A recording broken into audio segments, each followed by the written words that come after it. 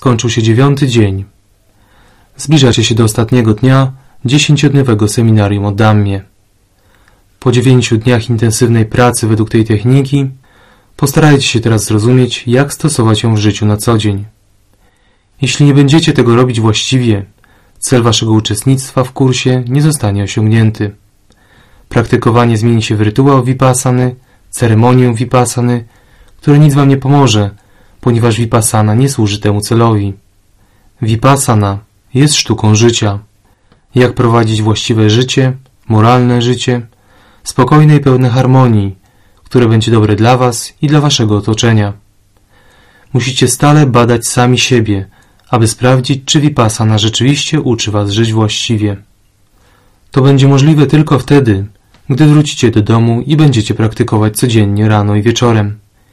Jednak nawet jeśli będziecie praktykować codziennie rano i wieczorem, ale zrobicie z tego mechaniczny rytuał siedzenia przez godzinę, taki jak rytuał liczenia paciorków różańca, to nic wam to nie da. Musicie zauważyć w codziennym życiu, że technika zaczęła wam pomagać. Jak sobie radzicie teraz po kursie z sytuacjami, których wielokrotnie doświadczaliście wcześniej? Jak radzicie sobie z przeciwnościami i zmiennością losu? Cierpienie może przyjść, ale jak szybko udaje się wam od niego uwolnić? Cały czas obserwujcie się pod tym kątem. Jeśli zauważycie, że w życiu nie nastąpiła żadna zmiana, żadna zmiana na lepsze, to znaczy, że coś jest nie tak. Albo technika jest zła, albo wy źle pracujecie. Ale technika jest dobra, ponieważ pomaga tysiącom ludzi na całym świecie, w dzisiejszych czasach tak samo, jak pomagała w przeszłości. Nie może więc być żadnych wątpliwości co do techniki.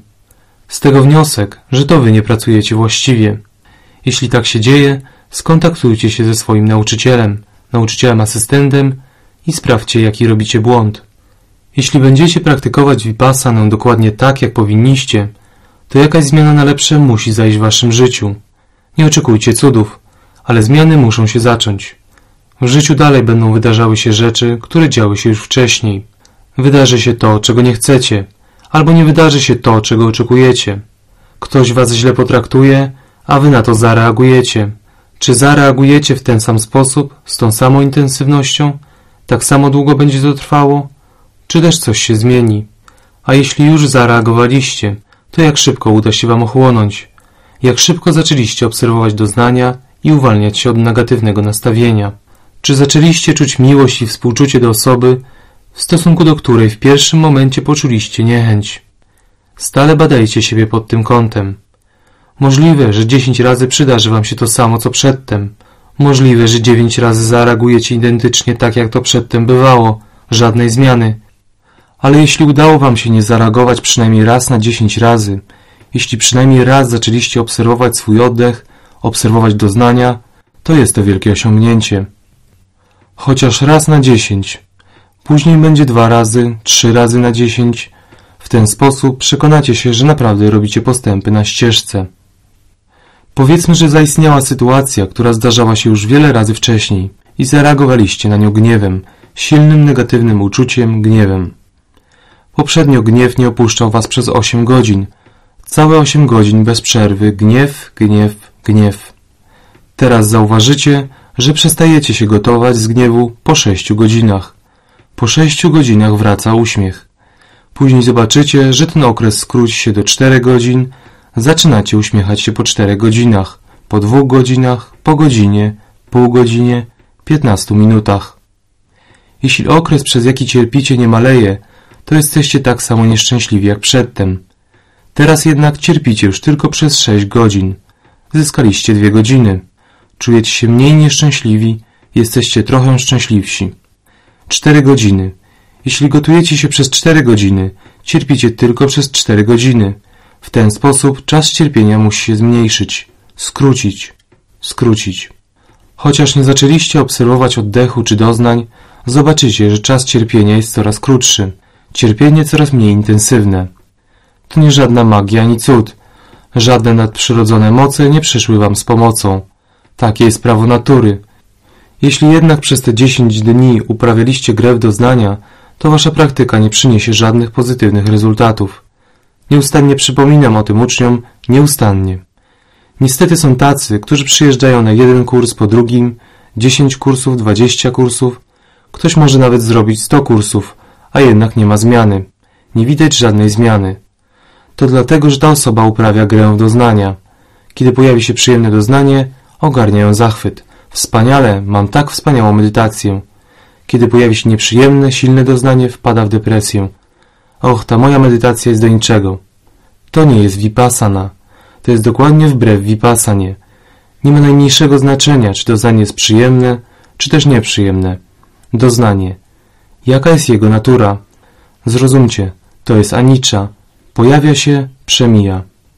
Za każdym razem, kiedy pojawi się doznanie, powinniście właściwie rozumieć jego naturę anicza. Pojawia się, przemija. Pojawia się, przemija. Z takim rozumieniem anicza rośnie wasza mądrość, rośnie zrównoważenie i spokój. Tylko w ten sposób odnosicie korzyść z vipassany. Przy innym podejściu nie będzie żadnej korzyści. Jeśli ktoś uparcie bawi się w doznania, zachwyt przy przyjemnym doznaniu, depresja przy nieprzyjemnym, jeśli takie podejście będzie kontynuował kurs po kursie, jeśli będzie je kontynuował w trakcie porannego i wieczornego siedzenia, jakich korzyści może się spodziewać? Żadnych. Nawet jeśli wydarzyło się coś niechcianego, na co zareagowaliście gniewem, dlaczego wasz gniew trwa teraz krócej, mimo że nie zaczęliście obserwować oddechu ani doznań? To się stało dzięki waszej codziennej praktyce rano i wieczorem. Nawet jeśli świadomie nie próbujecie obserwować oddechu ani doznań, część waszego umysłu zaczyna je obserwować. Gotujecie się z gniewu. Może po godzinie zdarzy się kilka chwil, kiedy zaobserwujecie oddech, zaobserwujecie doznanie. W ciągu następnej godziny ponownie kilka chwil, kilka chwil. Te kilka chwil to są cudowne chwile. To tak jakbyście nacisnęli hamulec w pędzącym samochodzie, który lada moment by się rozbił. Jeśli zahamujecie, prędkość trochę się zmniejszy. Potem samochód znowu nabiera szybkości i znowu hamujecie. Kiedyś pędził, powiedzmy 8 godzin. Teraz zatrzymuje się po 6 godzinach, potem po 4 godzinach, po 2 godzinach, w końcu po jednej godzinie. Wasz gniew był tak silny, że trwał 8 godzin. Teraz nieświadomie naciskacie przez kilka chwil na hamulec. Tak się dzieje dzięki waszej codziennej, porannej, wieczornej praktyce, zakładając, że nie polega ona na zabawie w grę w doznania. Co się dzieje, jeśli bawicie się w doznania? W zewnętrznym świecie wydarzyło się coś, co się wam nie podoba. Pojawiają się w związku z tym nieprzyjemne doznania i jest to powód, dla którego ogarnia was gniew. Czując doznanie, reagujecie na nie, po raz kolejny reagujecie i nie uwalniacie się od cierpienia. Tak robiliście cały czas, zanim zaczęliście praktykować vipassanę. Pojawiało się nieprzyjemne doznanie, reagowaliście na nie negatywnością, nie było zrównoważenia. Teraz jest to samo nieprzyjemne doznanie, ale jeśli pracujecie właściwie, uśmiechacie się, kiedy ono się pojawia. Och, to jest przejściowe. Zobaczę, jak długo potrwa. Zauważycie, że taka obserwacja zaczęła Wam pomagać. W ten sposób cały czas badajcie siebie samych, czy właściwie stosujecie vipassanę w codziennym życiu, czy nie. Nie spodziewajcie się, że po dziesięciodniowym kursie staniecie się tak idealni, że już nigdy więcej nie będziecie reagować negatywnością już nigdy nie będziecie gotować się z gniewu. O nie, to się będzie działo powoli i to w zupełności wystarczy. Powoli, ale stale będziecie zauważać, jak robicie postępy na ścieżce dammy, ścieżce do wyzwolenia, wyzwolenia od wszelkich cierpień. Kiedy pojawia się cierpienie, każdy chce się od niego uwolnić. Nikt nie chce, aby trwało. Ale ono trwa z powodu naszej niewiedzy. Trwa i trwa bardzo długo. Święci mędrcy na przestrzeni dziejów, tak samo jak zwykli ludzie, szukali sposobu, by uwolnić się od cierpienia. Zauważyli, że czujemy się nieszczęśliwi wtedy, kiedy w życiu dzieje się coś nieprzyjemnego. Nasz umysł stale o tym pamięta. To sprawia, że czujemy się jeszcze bardziej nieszczęśliwi. Jednym ze sposobów, jakie wymyślono, było odwrócenie uwagi. Zaczynacie gonić za przyjemnościami dla zmysłów. Na przykład, kiedy czujemy się nieszczęśliwi i chcemy się od tego uczucia uwolnić, odwracamy uwagę idąc do kina, do teatru, na tańce, do baru albo coś w tym rodzaju. Wtedy mamy poczucie, przestałem cierpieć. Ale nie przestaliśmy cierpieć, ponieważ wszystkie zmysłowe przyjemności rodzą w umyśle przywiązanie, a przywiązanie i cierpienie są nierozerwalnie ze sobą złączone. Czujemy się jeszcze bardziej nieszczęśliwi.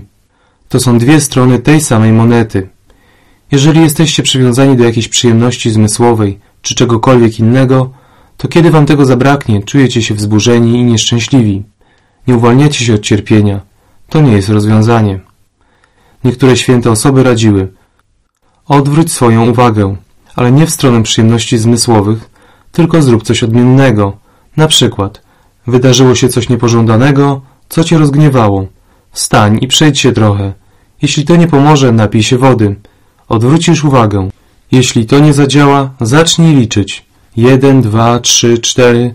Jeden, dwa, trzy, cztery. Odwrócisz uwagę. Jeśli to wszystko też nie pomogło, dano jeszcze inną radę, która działała wtedy i działa nadal. Jeśli czujecie się oddani Bogu lub bogini, jeśli mocno wierzycie w nich, albo w jakąś inną świętą osobę, wyzwoloną osobę, oświeconą osobę, wszystko jedno. Ktoś, do kogo macie zaufanie i wiarę, zacznijcie powtarzać w myśli jego lub jej imię. Bez przerwy powtarzajcie, powtarzajcie. Przyjdzie to wam bez trudu, dzięki waszemu oddaniu. Powtarzając święte imię, odwrócicie swoją uwagę.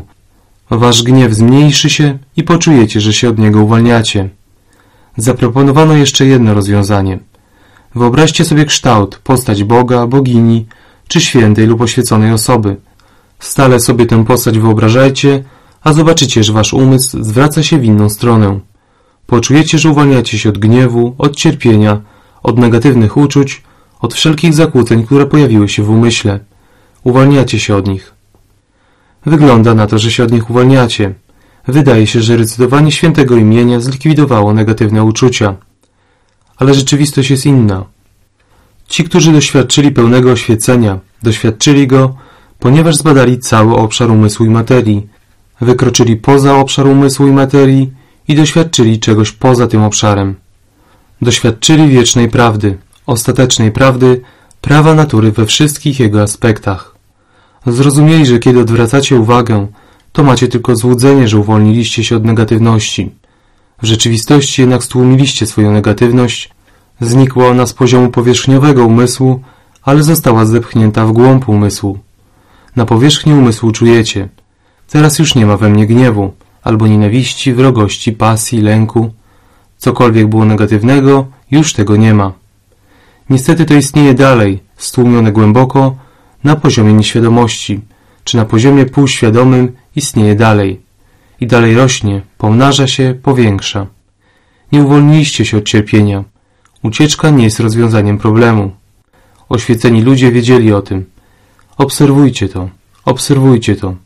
Kiedy tylko pojawi się jakieś negatywne uczucie, przykład pasja, nie tłumcie jej, ale też nie pozwalajcie jej zawładnąć waszą mową lub działaniem. Podobnie kiedy pojawi się strach albo gniew, nienawiść, niepokój, nie tłumcie tych uczuć, ale też nie wyrażajcie ich w mowie. Oni pokazali ścieżkę środka. Obserwujcie to. Pojawił się gniew.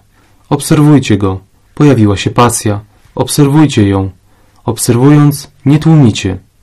I jeśli obserwujecie obiektywnie, to również nie wyrażacie tego głośno. Tylko obserwujcie, a zobaczycie, że zakłócenie słabnie, staje się coraz słabsze, coraz słabsze i w końcu zanika. Nie stało się problemem. Wasz problem rozwiązuje się, ponieważ go obserwujecie. To jest bardzo dobre rozwiązanie, ale bardzo trudne do praktykowania. Bardzo trudne do praktykowania. Kiedy pojawia się jakaś negatywność, przykład gniew, obezwładnia was tak szybko, bardzo szybko. To takie trudne, nie można obserwować.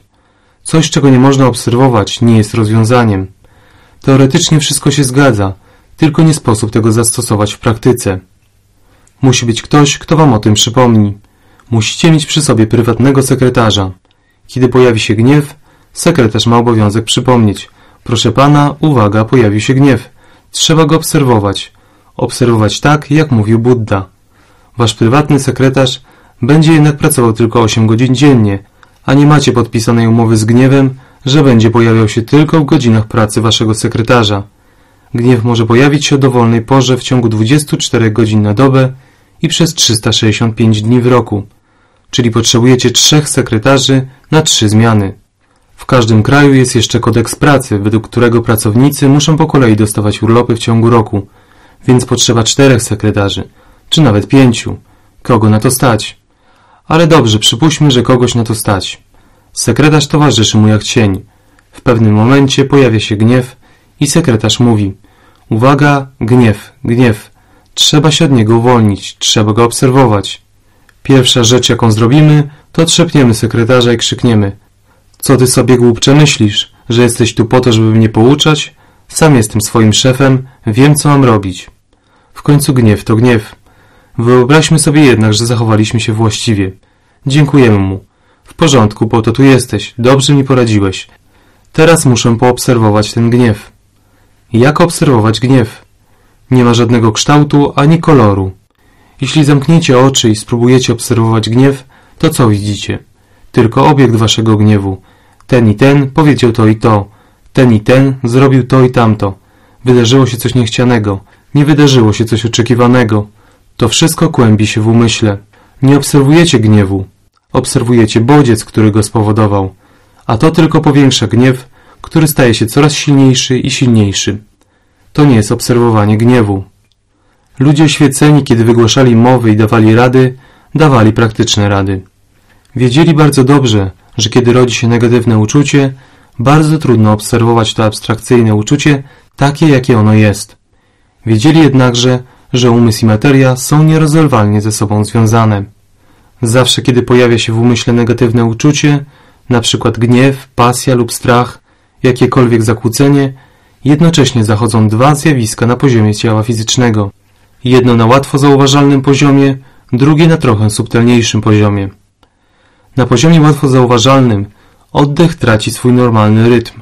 Kiedy czujecie gniew, pasję lub strach, oddech zawsze się zmienia. Staje się trochę szybszy, trochę cięższy. Kiedy zakłócenie znika, oddech wraca do normalnego rytmu, czyli zaczyna się coś dziać na poziomie oddychania. I jeszcze coś zaczyna się dziać na subtelniejszym poziomie. Zaczyna się jakaś biochemiczna reakcja. Może pojawić się kołatanie serca, może to być uczucie gorąca, może to być pot lub napięcie. Jakaś biochemiczna reakcja zachodzi gdzieś w obrębie ciała. Pojawiają się te dwa zjawiska. Trudno jest obserwować gniew jako gniew, abstrakcyjne uczucie, pasję jako pasję, abstrakcyjną pasję. Lecz jeśli się praktykuje, łatwo jest obserwować oddychanie, obserwować doznania w ciele. Tego zaczęli uczyć. Było oczywiste, że dla zwykłego człowieka, który praktykuje i rozwija się, obserwacja staje się łatwa. Nawet abstrakcyjny gniew, abstrakcyjną pasję da się obserwować obiektywnie. I dlatego świeceni mówili, obserwujcie oddech, obserwujcie doznania. Kiedy obserwujecie oddech i doznania, nie odwracacie uwagi w stronę czegoś innego. Wasze doznanie, wasz oddech jest jak druga strona monety. Jedną stroną monety jest mentalna negatywność. Drugą jej stroną są zachodzące w związku z tym zjawiska fizyczne, inny niż normalny rytm oddychania oraz pojawiające się w ciele doznania. Stajecie twarzą w twarz z problemem. Nie uciekacie od problemu i nie tłumicie go. Znaleziono wspaniałe rozwiązanie. Żeby je stosować, trzeba praktykować. Żadna magia, żadne cuda. Do tej pory umysł nawykowo reagował w ten sposób, że zawsze przywiązywał uwagę do rzeczy i zjawisk dziejących się na zewnątrz. Nigdy nie próbowaliście zrozumieć, co dzieje się wewnątrz was. Vipassana pomaga wam to ujrzeć. To, co się dzieje wewnątrz, jest ważniejsze od tego, co się dzieje na zewnątrz. Jeśli cała uwaga jest zwrócona na zewnątrz, cały czas pozostajecie pod mylnym wrażeniem, że jestem nieszczęśliwy z powodu tego, co się dzieje na zewnątrz. Jestem nieszczęśliwy, ponieważ ktoś powiedział mi coś przykrego. Jestem nieszczęśliwy, ponieważ ktoś zrobił coś przeciwko mnie. Utrzymujecie w sobie przekonanie, że źródło waszych cierpień jest poza wami, na zewnątrz, na zewnątrz. Mąż mówi, gdyby tylko moja żona choć trochę się zmieniła, w naszym domu byłoby jak w niebie. Wszystko byłoby wtedy dobrze. Ona musi się trochę zmienić. Jeśli zapytamy o zdanie żonę, powie Mój mąż musi się trochę zmienić, choć trochę, i wtedy wszystko będzie wspaniale. Ojciec powie, że syn powinien się trochę zmienić. Syn powie, że ojciec powinien się trochę zmienić. Teściowa powie, że zięć i synowa powinni się zmienić, a synowa i zięć powiedzą, że to właśnie teściowa powinna się zmienić. Wszyscy wokół mnie powinni się zmienić, tylko nie ja. Ja jestem najzupełniej w porządku, idealny człowiek. A cóż może być ze mną nie tak? Szukamy winnych tylko na zewnątrz, tylko na zewnątrz. Zawsze znajdujemy źródło naszych cierpień poza nami, na zewnątrz. Czyli cała nasza energia i siła w życiu jest skierowana na naprawianie rzeczy i zjawisk na zewnątrz. Naszym wielkim błędem jest to, że zupełnie zapominamy o tym, co się dzieje wewnątrz nas. Marnujecie energię. Po pierwsze, zmienić kogoś jest niebywale trudno. Nie macie władzy nad innymi ludźmi. Jak możecie ich zmienić?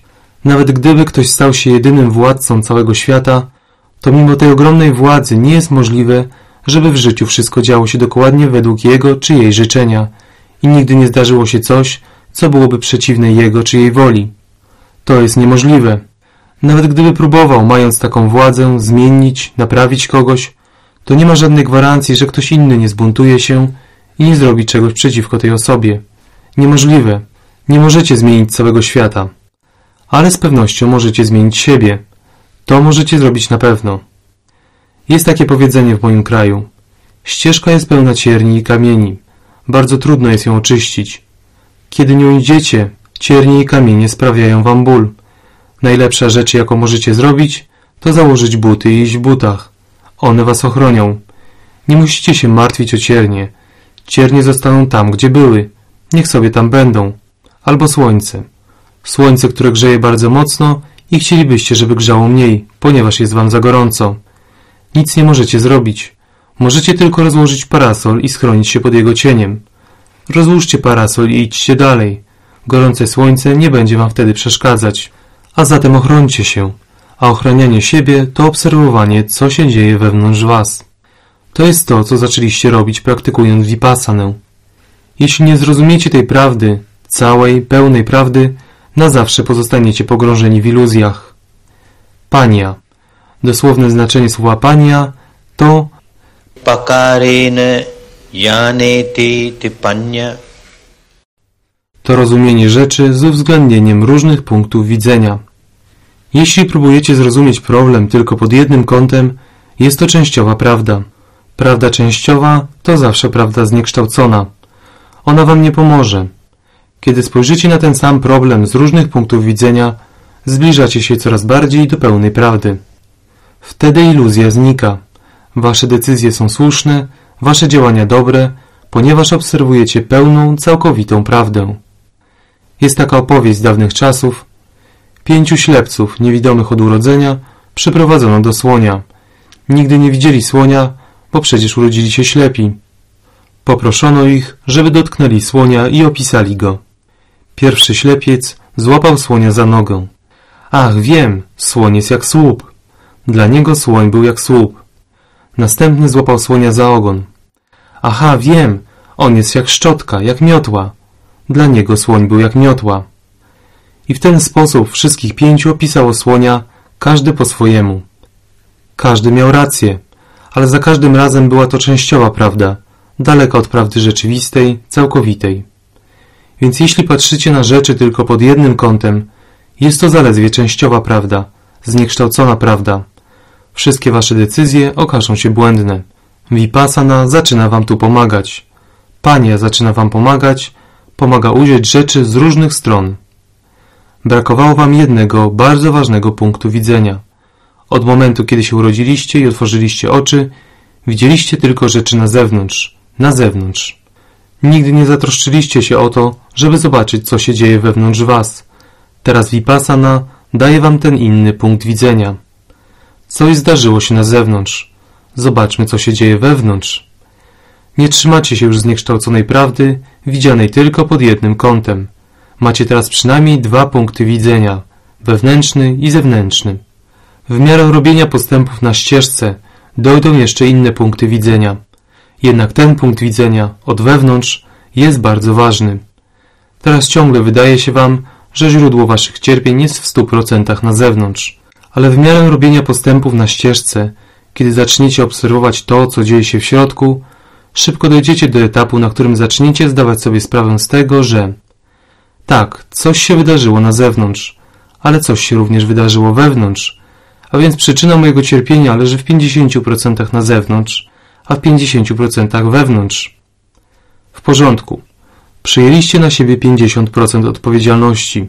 Robicie coś, aby zmienić się w 50%. To dobrze.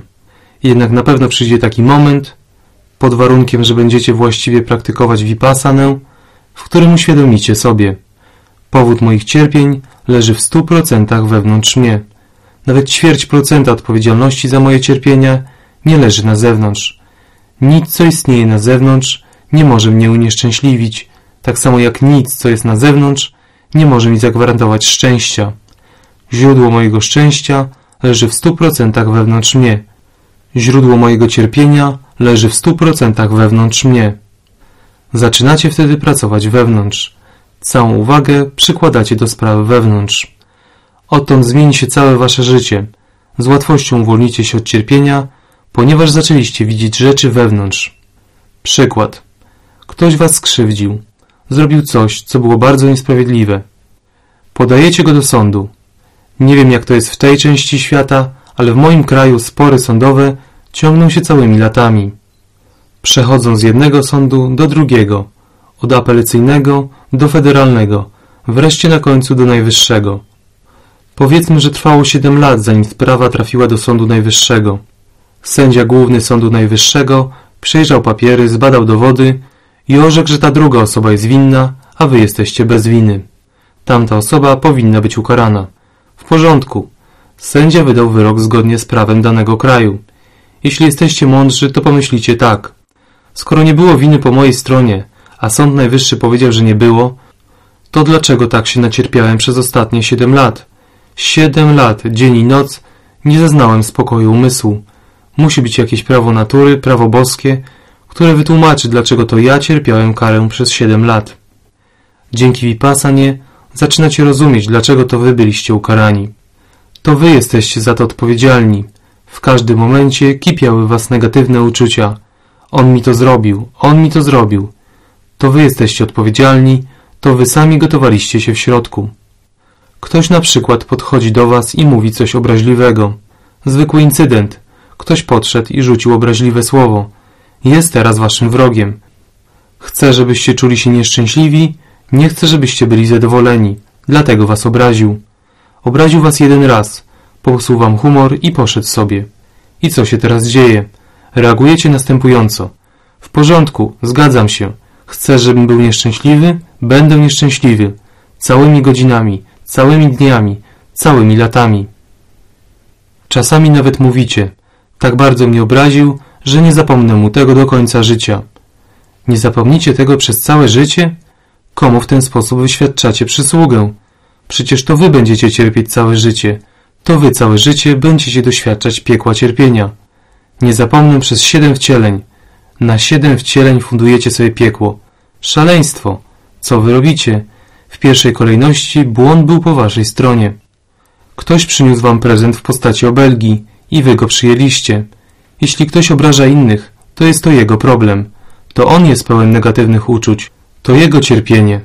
Po co chcecie je z nim dzielić? Dlaczego bierzecie je na siebie? Uśmiechnijcie się tak, jak Buddha. W porządku, ale ja nie przyjmuję twojego prezentu.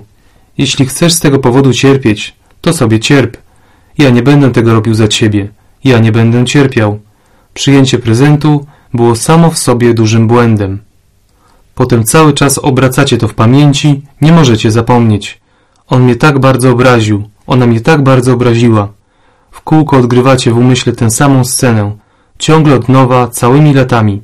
Nikt inny nie jest za to odpowiedzialny oprócz was. To wy sami jesteście za to odpowiedzialni. Im bardziej będziecie badać rzeczywistość wewnątrz, tym sprawy będą jaśniejsze. Stanie się to tak oczywiste. To ja jestem odpowiedzialny. Zawsze, kiedy reaguję, sprowadzam na siebie cierpienie. Kiedy nie reaguję, to cokolwiek by się działo na zewnątrz, nie czuję się nieszczęśliwy. Mogę się swobodnie uśmiechać. Cała odpowiedzialność leży wewnątrz mnie, głęboko wewnątrz. Kiedy zmienię to nawykowe zachowanie, uwolnię się od cierpienia, zacznę prowadzić lepsze życie. Wymaga to jednak intensywnej praktyki. Rzeczy stają się jaśniejsze, jeśli praktykujecie wypasanę prawidłowo, jeśli jasno rozumiecie, na czym polega praktyka. Struktura materialna, jak się zachowuje, jak to się dzieje, że biochemiczne reakcje są rezultatem różnych pojawiających się doznań. w jaki sposób działa umysł i jego cztery części.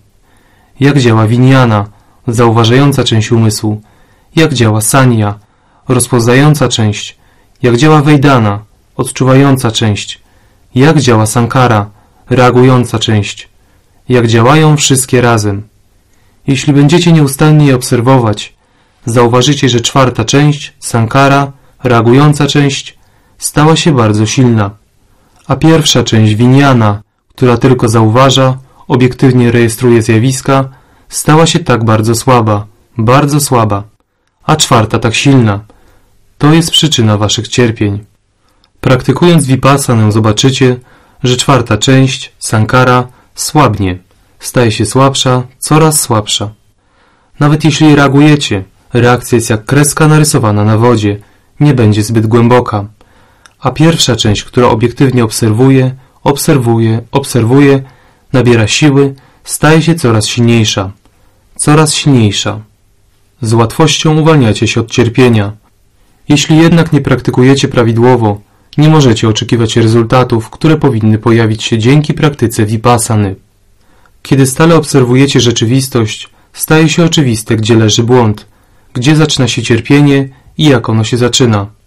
W przeciwnym razie czujecie w ten sposób. Zawsze, kiedy widzę tego człowieka, ogarniają mnie negatywne uczucia. Czy naprawdę tak właśnie jest?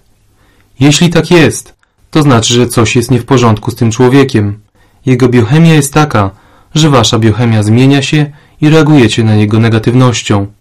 Jeśli to prawda, to znaczy, że każdy, kto widzi owego człowieka, powinien reagować negatywnością. Tak się nie dzieje. Przypuśćmy, że widzi tego człowieka pięć osób jednocześnie. Jedna osoba zareaguje na przykład gniewem, inna może zareaguje namiętnością, jeszcze inna strachem, a czwarta jeszcze inaczej. Każda z tych pięciu osób zareaguje inaczej. Wtedy staje się to jasne. To coś nie w porządku nie znajduje się w tamtym człowieku. To jest we mnie. Jeśli ktoś ma jakiś problem, to ten problem jest w nim samym, w środku. Przykład. Artysta. Bardzo dobry artysta maluje farbami portret na płótnie. Spod pędzla wyłania się piękna twarz, bardzo piękna. Artysta patrzy na postać na obrazie i zachwyca się. Ach, jaka piękna, jaka piękna osoba. Traci równowagę umysłu. Chcę żyć z tą osobą. Ona jest taka wspaniała. Muszę żyć z tą osobą. Ludzie mówią, oszalałeś. Przecież to jest twoje dzieło, wytwór twojej wyobraźni. To nie jest prawdziwa osoba. Chcesz żyć z obrazem? Jak to sobie wyobrażasz? Och nie, ja nie potrafię żyć bez tej osoby. Muszę ją mieć. Szaleniec. Ale ten sam artysta może namalować inny obraz. Okropny, przerażający. Ach, ta osoba jest taka zła, okrutna. Zrobi mi krzywdę, pożre mnie. Ratujcie mnie, proszę, ratujcie mnie. Ludzie mówią, ty jesteś szalony, przecież to jest twoje dzieło, twór twojej wyobraźni. Co ty wyrabiasz? Możemy nazwać tego artystę szaleńcem. Jednak faktem jest, że my robimy dokładnie to samo. Wszyscy tworzymy w wyobraźni portrety i reagujemy na te portrety. Każdy z nas wyobraża sobie wizerunki osób i nieustannie reaguje na te wyobrażenia.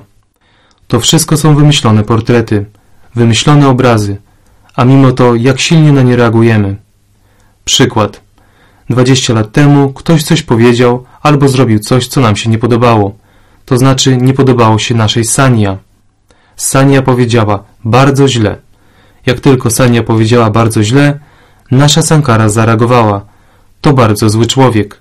Pojawiło się negatywne uczucie i stworzyliśmy wizerunek tej osoby. Bardzo zły człowiek, bardzo niedobry człowiek. Nie spotykaliśmy go przez 20 lat. Po tym czasie nagle go widzimy i zaczynamy reagować. Bardzo niedobry człowiek, bardzo zły człowiek. Przez te 20 lat, kto wie, może on nawet został świętym. A może w ogóle od samego początku wcale nie był złym człowiekiem. To przecież tylko nasza Sania powiedziała, bardzo niedobry człowiek. W rzeczywistości wcale nie musiał być zły. To my stworzyliśmy taki jego wizerunek i teraz na niego reagujemy, na twór naszej wyobraźni. Wyobrażony portret osoby staje pomiędzy rzeczywistym człowiekiem i naszą reakcją na niego. Reagujemy na wyobrażony portret. Podobny przykład. 20 lat wcześniej ktoś zrobił lub powiedział coś, co się nam bardzo spodobało. To znaczy spodobało się naszej Sania. Sania oceniła. Cudowny człowiek, prawdziwy dżentelmen, święta osoba, święta osoba. Nie widzieliśmy jej przez dwadzieścia lat, ale dalej uważamy ją za wspaniałą osobę. Przecież przez te dwadzieścia lat mogła się całkowicie zmienić. Mogła stać się diabłem wcielonym. A kto wie, może od samego początku była diabłem. To tylko nasza Sania powiedziała. Prawdziwy dżentelmen, prawdziwy dżentelmen. Reagujemy na portrety stworzone przez nas samych. Ta rzeczywistość będzie coraz jaśniejsza i jaśniejsza, jeśli zaczniecie badać, jak działają cztery części waszego umysłu. Jaka interakcja zachodzi pomiędzy strukturą materialną i mentalną. To wszystko będzie bardzo jasne, jeśli będziecie obserwować, obserwować obiektywnie. Obiektywnie. Ten sam człowiek, ta sama rzecz widziana przez pięciu ludzi. Pięć różnych osób ma pięć różnych wyobrażeń na temat tego samego człowieka. Reagują na własne wyobrażenia o tym człowieku, a nie na człowieka. Może się tak nawet zdarzyć, że my sami pięć razy doświadczymy zmysłami, oczami, uszami lub innymi narządami zmysłów tego samego wydarzenia. To samo wydarzenie, a zareagujemy na nie na pięć różnych sposobów. Wyobraźmy sobie, że jakieś słowa dotarły do moich uszu pięć razy i za każdym razem zareagowałem na nie inaczej. Jeśli dobrze medytuję vipassanę, będzie to całkiem zrozumiałe. Weźmy taki przykład. To jest tylko przykład, a nie rzeczywistość. Tylko przykład. Pewnego wieczoru idę w towarzystwie pięciu moich uczniów. Jest dość ciemno, a na ścieżce, którą idziemy, ktoś leży. Jeden z moich uczniów potrącił tego człowieka nogą. Leżący reaguje krzykiem. Ślepy jesteś? Masz guziki zamiast oczu? Słyszę te słowa i doświadczam miłych doznań w ciele. Bardzo przyjemnych doznań. Czuję przepływ bardzo przyjemnych doznań. Ktoś kogoś wymyślał. Masz guziki zamiast oczu? I ja doświadczyłem przyjemnych doznań. To jeden incydent. Drugi incydent. Idę sam. Tym razem to ja nadepnąłem tego człowieka, a on krzyknął na mnie w ten sam obraźliwy sposób, tymi samymi słowami, tym samym tonem. Ślepy jesteś? Masz guziki zamiast oczu? Teraz nie czuję przyjemnych doznań, żadnych przyjemnych doznań. Mam nieprzyjemne doznania. Trzeci incydent. Powtarzam, przykład to tylko przykład. Idę z pięcioma uczniami. Znowu ja nadepnąłem leżącego, a on krzyczy na mnie w ten sam sposób, tymi samymi słowami. Ślepy jesteś? Masz guziki zamiast oczu? Moje niemiłe doznania są teraz znacznie bardziej nieprzyjemne niż poprzednim razem. Te same słowa, ale różnica w doznaniach ogromna. Czwarty raz to samo. To tylko przykład. Idę sam, nadepnąłem człowieka, a on krzyczy w ten sam sposób. Ślepy jesteś? Masz guziki zamiast oczu? Nagle uświadamiam sobie, że to mój syn. To mój syn tak na mnie krzyczy. Mój syn mnie tak obraża. Ślepy jesteś? Masz oczy czy guziki? Och, doznania są wyjątkowo nieprzyjemne. Wyjątkowo. Piąty raz. Przykład. To tylko przykład. Idę z pięcioma uczniami. Nadepnąłem człowieka, on krzyczy i poznaję po głosie, że to mój syn. Teraz to już jest całkiem nie do zniesienia. Nie do zniesienia. Dlaczego? Usłyszałem te same słowa pięć razy. Dlaczego moja reakcja jest za każdym razem inna? Co się dzieje? Osoba prawidłowo medytująca vipassanę będzie rozumiała, co się dzieje. Kiedy słowa dotarły do moich uszu po raz pierwszy, moja Sania powiedziała Tak, to są obraźliwe słowa, ale nie są przeznaczone dla ciebie, nie dla ciebie. One są skierowane do twoich uczniów.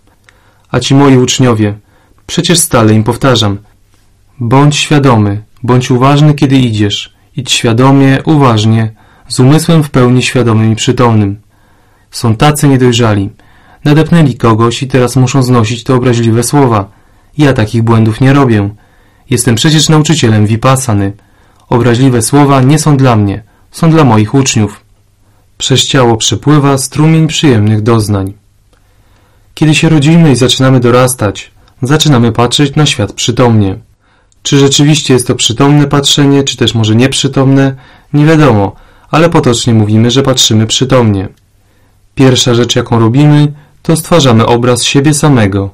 Ja goinka. Kiedy stwarzam swój obraz, jest on oczywiście bardzo piękny, powstaje wspaniały goinka, cudowny goinka. Umieszczam ten wizerunek w świątyni swojego umysłu. Cudowny, goinka jest taki cudowny. W pierwszym przykładzie widziałem, że obraźliwe słowa są dla moich uczniów. Oni są tacy niedojrzali. Natomiast ja jestem nauczycielem vipassany, bardzo dojrzałą osobą. i tak dalej. Mój wizerunek błyszczy po tym wydarzeniu jeszcze bardziej. O, Goinka, ten cudowny Goinka. Inni popełniają błędy, ale nie on. Za drugim razem padły te same słowa, ale teraz moja Sania powiedziała ta obelga jest skierowana do ciebie, nie do twoich uczniów. Nie ma tu uczniów. Piękny wizerunek trochę ucierpiał. I przywiązanie do tego wizerunku również. Ktoś śmie obrażać mnie? Mnie? Takiego wielkiego nauczyciela Vipassany? A tobie co niby się stało? Ani nie krwawisz, ani nie umierasz. Nic takiego się nie stało. Po co tak krzyczysz? Stosunek do wydarzenia zupełnie się zmienia. Zaczynają się nieprzyjemne doznania. Teraz trzeci raz. Dlaczego było to bardziej nieprzyjemne? Ponieważ świadkami wydarzenia było pięciu moich uczniów.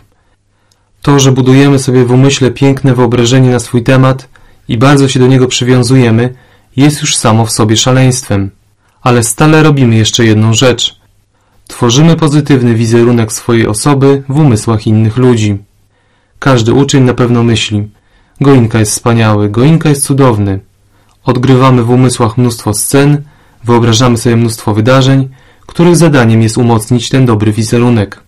Zrobiłem tak dużo, żeby stworzyć pozytywny obraz siebie w umysłach pięciu uczniów. Teraz wizerunkiem zatrzęsło. Poprzednim razem tylko jeden obraz ucierpiał. Teraz ucierpiało pięć obrazów. Czuję się bardzo nieszczęśliwy, pięć razy bardziej nieszczęśliwy niż poprzednio. Jeśli ktoś mnie obraża, ale nie są przy tym obecni świadkowie, mogę sobie powiedzieć. Obraził mnie, ale nie szkodzi. Teraz obraził mnie publicznie, w obecności wielu osób. Obelga to obelga, jest ta sama, czy jest się samemu, czy w towarzystwie innych ludzi. Na czym więc polega różnica? Polega ona na tym, że umieszczamy swoje wizerunki w umysłach wielu osób. Więc kiedy wydarza się coś, co je trochę burzy, cierpimy z tego powodu o wiele bardziej. To się staje coraz jaśniejsze i bardziej oczywiste w miarę, jak coraz bardziej zagłębiacie się w sobie i dokonujecie analizy. Czwarty raz. Dlaczego jest jeszcze bardziej nieprzyjemny? Ja. Sfera ja teraz się rozszerza o moje, moje, moje. Zaczęliśmy tworzyć wizerunki tego, co jest moje. Mój syn, moja córka, moja żona, mój mąż, moja matka, mój ojciec, moje to, moje tamto. Rzeźbimy bardzo piękne portrety i zaczynamy się do nich ogromnie przywiązywać. Na powierzchniowym poziomie oszukujemy sami siebie. Kocham mojego syna, kocham moją żonę, kocham moją matkę, kocham mojego ojca. Jeśli zagłębicie się w siebie, zrozumiecie, że nie kochacie nikogo.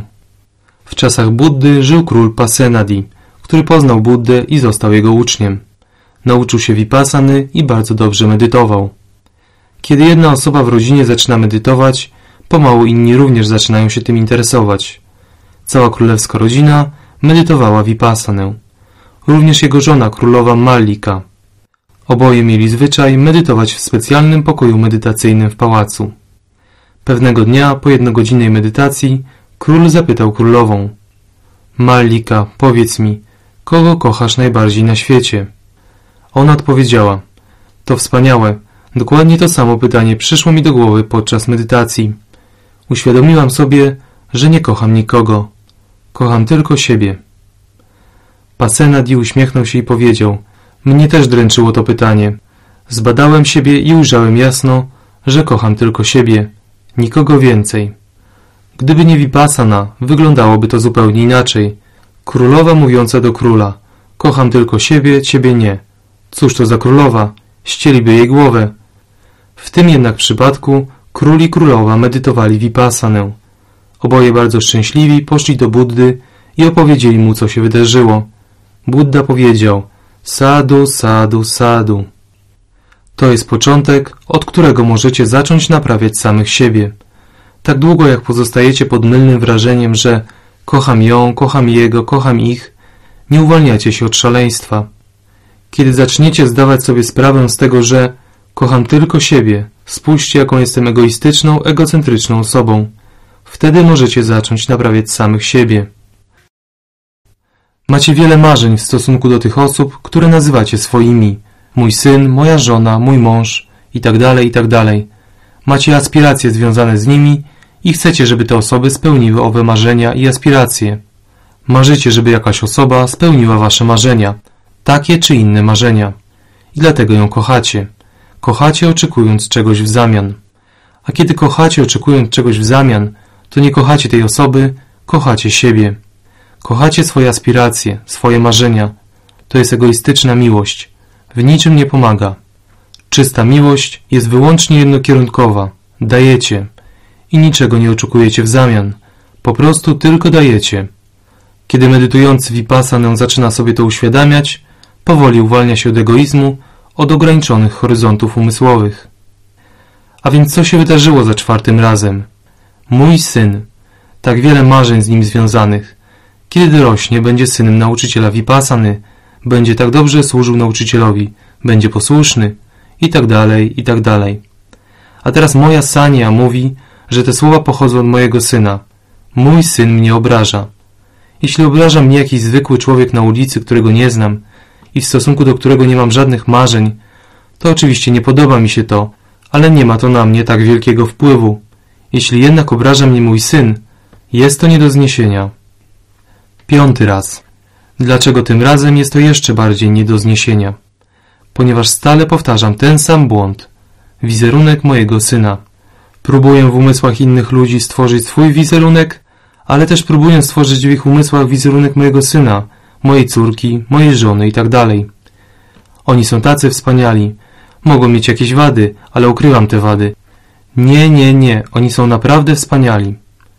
Portret mojego syna, który stworzyłem w umysłach pięciu uczniów, mocno ucierpiał. Pięć portretów ucierpiało. Jestem pięć razy bardziej nieszczęśliwy. To wszystko będzie bardzo jasne, kiedy będziecie potrafili obserwować doznania. Coś się wydarzyło i obserwujecie. Jakiego rodzaju są to doznania? Coś się wydarzyło. Jakie mam doznania? W taki właśnie sposób Vipassana Wam pomoże. Jeśli nie zastosujecie Vipassany w codziennym życiu, wtedy stanie się ona rodzajem zorganizowanej religii, jakich wiele dookoła. Chodzicie do świątyni, kościoła, pagody, meczetu, odprawiacie taki rytuał, inny rytuał i jesteście szczęśliwi. Jestem bardzo religijną osobą. Jestem bardzo religijną osobą. To w życiu nie pomaga. Łudzicie się. Jeśli w ten sam sposób postąpicie z Vipassaną. Jeżdżę na kurs raz w roku, siedzę rano i wieczorem, obowiązek spełniony. Teraz niech Buddha coś dla mnie zrobi. Powinien zrobić, ponieważ wypełniam swoje obowiązki. Powiedział mi, żebym je wykonywał, więc to robię. Teraz jego zadaniem jest uwolnić mnie od cierpienia. Tak to nie działa. Musicie zmienić swoje nawykowe reakcje, rozumiejąc na głębokim poziomie, w jaki sposób sami sprawiacie sobie cierpienie. W każdym momencie stwarzacie cierpienie dla siebie, albo pragnienia, albo niechęć, pragnienia, albo niechęć, takie doznanie lub inne doznanie, pragnienia, niechęć, pragnienia, niechęć. Jesteście kłębkiem nerwów i nieszczęść. Dzięki tej technice pozbywacie się tego szalonego nawyku, uwalniacie się od cierpienia. Przyjazd na kurs nie powinien być traktowany jako rytuał czy ceremonia. Przyjazd musi mieć jasny cel. Głównym celem jest zrozumienie rzeczywistości umysłu i materii na poziomie doświadczalnym. Za każdym następnym przyjazdem rozwijacie w sobie konkretne przymioty. One pomogą Wam osiągnąć ostateczny cel całkowitego wyzwolenia. Jest dziesięć przymiotów, pozytywnych cech. Kiedy je rozwiniecie, łatwo osiągniecie ostateczny cel. W języku Buddy nazywano je parami. Parami to cecha, która pomoże przebyć ocean cierpienia i dotrzeć do drugiego brzegu, całkowicie wolnego od cierpienia. Jest dziesięć parami. Przyjeżdżając na ten kurs, macie wspaniałą okazję rozwinąć sobie wszystkie dziesięć parami. Po trochu, po trochu. To tak jakbyście mieli dziesięć słojów albo dziesięć garnków. Jeśli zaczniecie napełniać słoje po jednej kropli, kropla po kropli, kropla po kropli, przyjdzie taki moment, w którym wszystkie słoje napełnią się, będą pełne i osiągniecie ostateczny cel. Jakie są te dziesięć parami? Co to za cechy? Zapamiętajcie je, abyście następnym razem, kiedy przyjedziecie, mogli dodać przynajmniej po jednej kropli do każdego słoja. I więcej kropli, tym lepiej. Pierwsza parami to nekka ma parami, parami wyrzeczenia. Trzeba wyrzec się życia świeckiego tak, aby nie pozostało żadne przywiązanie. Nie każdy gotów jest wyrzec się świeckiego życia. Nie wszyscy mogą zostać mnichami i mniszkami. W jaki więc sposób można rozwijać tę parami? To jest ważna parami. Przez 10 dni pobytu tutaj macie ku temu wspaniałą okazję. Nie trzeba golić głowy, nie trzeba przebierać się w mnisie szaty, a jednak dla celów praktycznych prowadzi się życie mnicha, życie mniszki. Ponieważ na kursie takim jak ten żyje się z dobroczynności innych. Zarówno jedzenie, jakie otrzymujecie i wszelkie udogodnienia, z jakich korzystacie, są dla Was dostępne dzięki dobroczynności innych. Dlaczego ludzie decydują się na życie zakonne? Nie ma wtedy nic, co można by nazwać moje, moje, moje. Wszystkie parami prowadzą Was do etapu, na którym całkowicie zanika ego. Ostatni etap całkowitego zniknięcia ego doprowadzi Was do ostatecznego celu. Kiedy zostając mnichem wyrzekamy się życia świeckiego i chodzimy z żebraczą miską od domu do domu prosząc o jedzenie, wtedy nasze ego zaczyna maleć, niknąć. Macie tutaj wspaniałą okazję do praktykowania wyrzeczenia.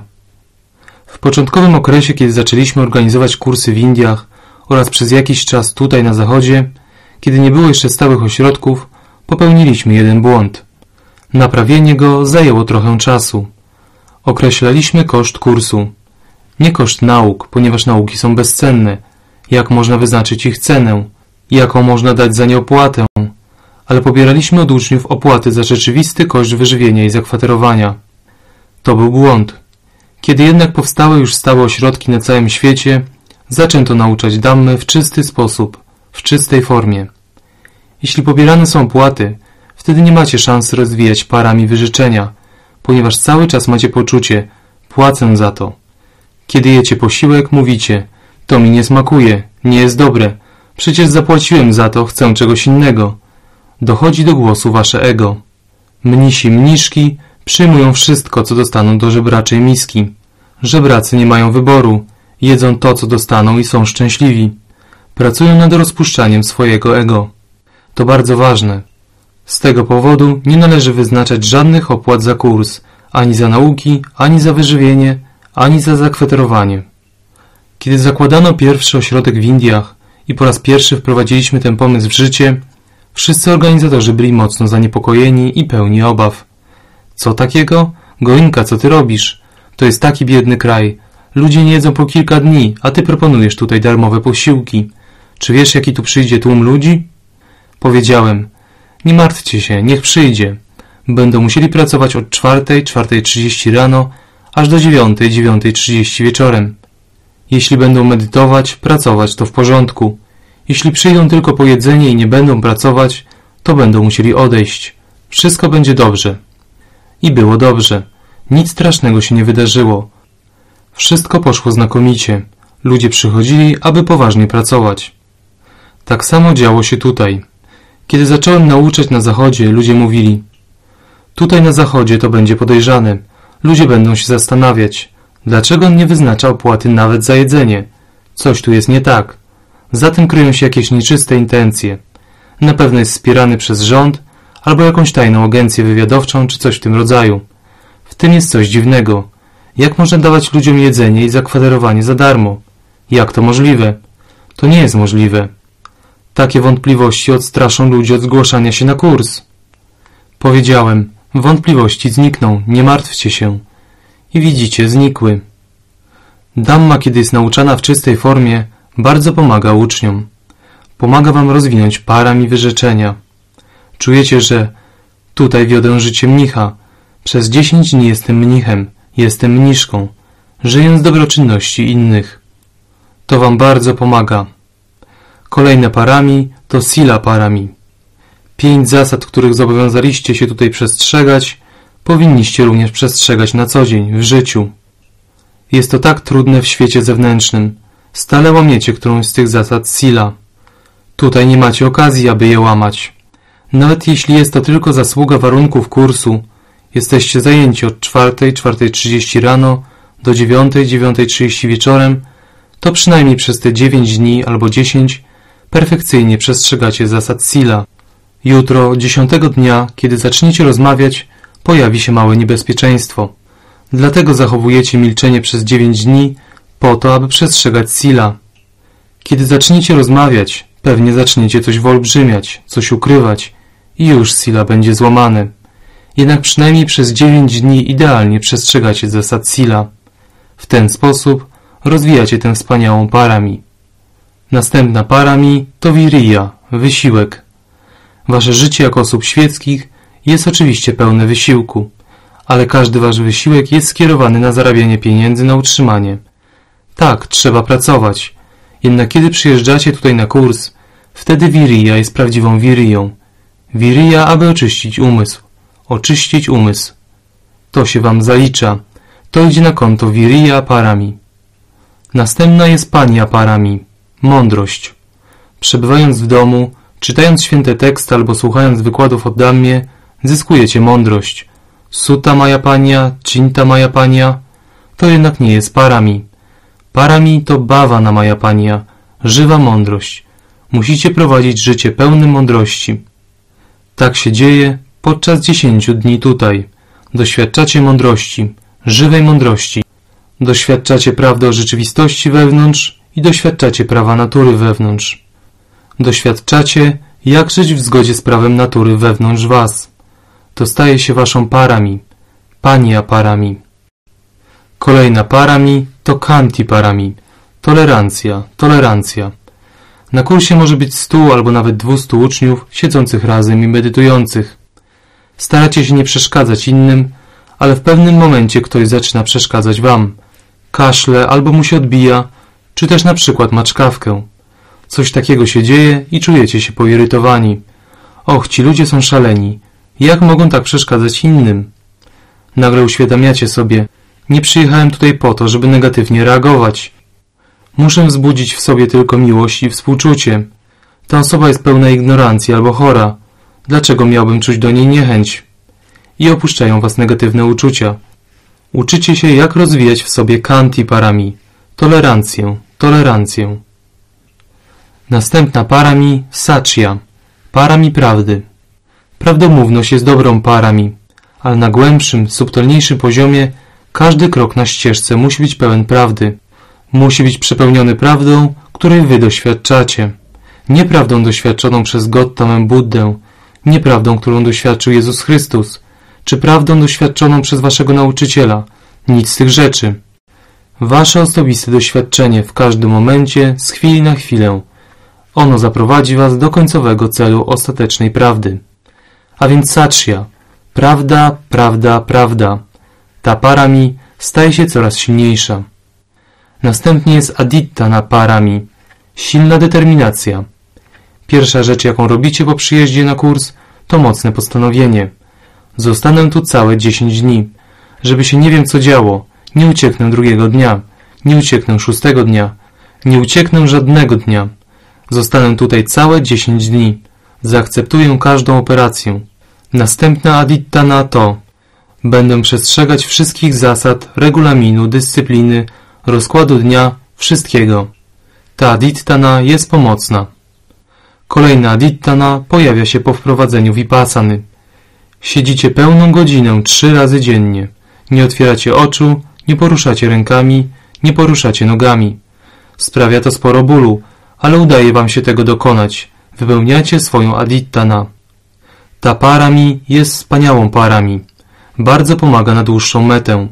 Zrozumcie, wtedy kiedy ten człowiek uzyskał pełne oświecenie, tej nocy kiedy siedział pod drzewem, siedział za Dittana, silnym postanowieniem, że nie zmienię pozycji, nie przez godzinę czy dwie, nie zmienię pozycji, dopóki nie osiągnę pełnego oświecenia. Może to potrwa kilka lat. Niech się rozpadną wszystkie moje kości, nie dbam o to. Nie zmienię pozycji. Jeśli dochodzi do takiego momentu, siedzicie i po dziesięciu minutach zaczyna was boleć, a wy mówicie nie, nie, nie, posiedzę później, posiedzę sobie później, ale nie teraz. To wam nie pomoże. Tę parami rozwijacie przez wiele wcieleń. Adittana parami. Adittana, adittana po to, aby kiedy nadejdzie wasz czas, usiąść silnym postanowieniem i odnieść zwycięstwo. To jest bardzo ważne, bardzo ważne. Kolejna parami to metta. Jutro nauczycie się tej techniki. Miłość do wszystkich istot, współczucie dla wszystkich istot. Jesteśmy uczeni od dzieciństwa. Kochaj bliźniego swego, kochaj bliźniego swego. Na powierzchniowym poziomie stale powtarzamy Życzę Ci szczęścia, powtarzamy bliźniemu Życzę Ci szczęścia, obyś był szczęśliwy. Tak naprawdę to jednak żywimy do tej osoby dużo negatywnych uczuć i w głębi duszy mówimy Idź do diabła, nie cierpię Cię, jesteś podły, żeby Cię piekło pochłonęło. Tak to nie zadziała. W ten sposób nie uzyskacie tej parami. Wasz nieświadomy umysł, który jest głęboko wewnątrz, jest o wiele silniejszy od powierzchniowej warstwy umysłu. Kiedy dajecie mettę tylko na powierzchniowym poziomie, to nie zadziała. Nie staje się to waszą parami. Praktykując technikę, przez 9 dni oczyszczacie umysł. Oczyszczacie umysł, łamiecie barierę. Barierę pomiędzy powierzchniową warstwą umysłu, a głęboką warstwą umysłu. Jutro, dziesiątego dnia, nauczycie się praktykować mettę. Oby wszystkie istoty były szczęśliwe. Oby wszystkie istoty mogły dzielić ze mną mój spokój, moją harmonię. Wtedy nie ma w tym śladu negatywności i uczycie się prawdziwej metty, która zapisuje się wam na konto tej parami. Następnie upekka. Powinna towarzyszyć wszystkiemu, co tu robicie. Upekka. Zrównoważenie i spokój umysłu. Zrównoważenie. Zrównoważenie. Wobec wszystkiego, czego doświadczacie, czy jest to przyjemne, nieprzyjemne, czy neutralne, zachowajcie równowagę i spokój umysłu. Macie tutaj wspaniałą okazję, aby to praktykować. W codziennym życiu, kiedy doświadczacie zmiennych kolei losu, na przemian porażek i sukcesów, może zachowujecie równowagę umysłu, ale jest ona tylko na powierzchni umysłu. Teraz doświadczacie spraw w głębi umysłu. Doświadczacie doznań na najgłębszym poziomie umysłu i uczycie najgłębszy poziom umysłu, jak ma pozostawać w równowadze i spokoju. Upekka, upekka, upekka. Staje się ona waszą parami. I kolejna, dana parami. Dotacja. Osobie mającej dom i rodzinę bardzo trudno jest osiągnąć ostateczny cel. Dlaczego? Największa trudność polega na tym, że głowa rodziny nie powinna żebrać o jedzenie. Mnisi mniszki powinni prosić o jedzenie, ale osoba świecka musi ciężko pracować. Musi uczciwie pracować i zarabiać pieniądze na swoje utrzymanie, utrzymanie rodziny i na wsparcie dla innych osób. Na tym polega jej odpowiedzialność. Kiedy pracujecie i zaczynacie zarabiać pieniądze, wtedy wasze ego zaczyna się nadymać. Popatrzcie, jaki jestem inteligentny, jaki bystry i zmyślny. To dlatego wiedzie mi się tak dobrze. Inni nie odnoszą aż takich sukcesów, nie zarabiają tak dużo. Z powodu dużej ilości zarabianych pieniędzy, nasze ego w umyśle bardzo rośnie. A dopóki jest takie ego, dopóty jesteście bardzo daleko od ostatecznego celu całkowitego wyzwolenia. Jak wyzwolić się od ego? Z jednej strony zarabianie pieniędzy jest koniecznością, z drugiej strony wszystkie zarobione pieniądze przyczyniają się do wzrostu ego. Dlatego wszyscy święci ludzie, oświeceni ludzie radzili, abyście zarabiając pieniądze, wszystko jedno w jakiej ilości, pamiętali i rozumieli, że nie zarabiacie ich tylko dla siebie. Oczywiście, że zarabiacie je na utrzymanie swojej rodziny, ale zarabiacie je również dla innych, dla innych. Powinienem dzielić się swoimi zarobkami z innymi. Wtedy ego zmniejsza się, zmniejsza, nie będzie takie silne. Na kursie takim jak ten przez 10 dni praktykujecie i zwolna rozpuszczacie ego. Rozpuszczacie ego, oczyszczacie umysł, oczyszczacie go. Kiedy kończy się 10 dni, dajecie dotację. Dotację stosowną do swoich możliwości. To nieistotne, czy małą, czy dużą. Dajecie ją z czystym umysłem, niczego nie oczekując w zamian. Jeśli oczekujecie czegoś w zamian, dana traci swoją czystość. Wasza miłość traci czystość, kiedy oczekujecie czegoś w zamian.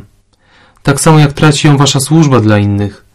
W ten sam sposób dana przestaje być czysta, jeśli ofiarowując, zarazem czegoś oczekujecie.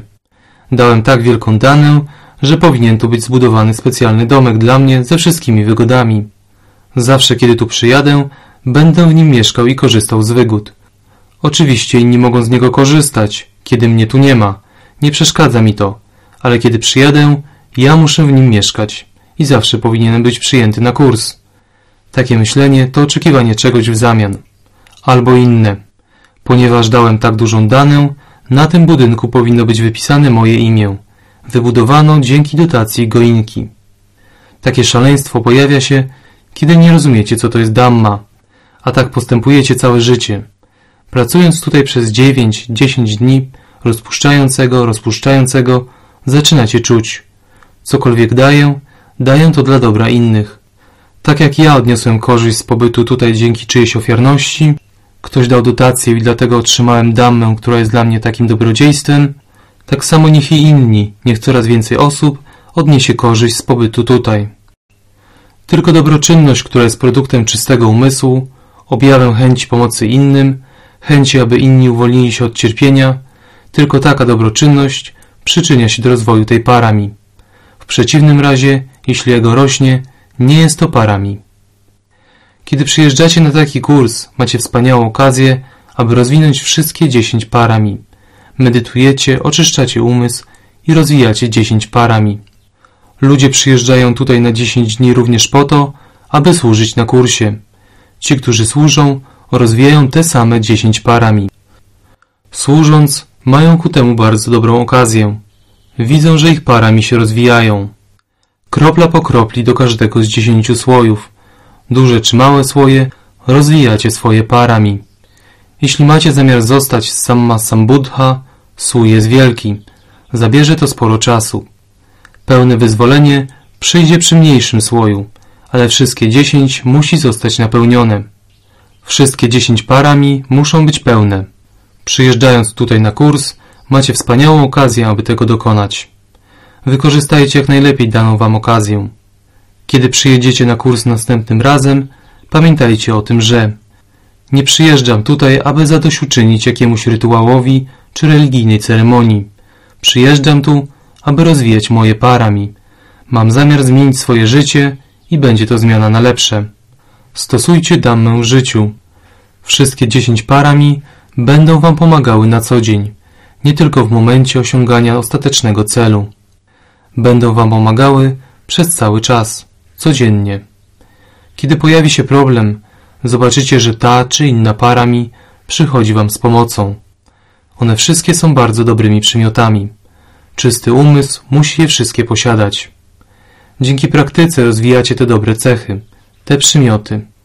Obyście rozwinęli w sobie wszystkie dziesięć parami. Obyście wszyscy osiągnęli ostateczny cel.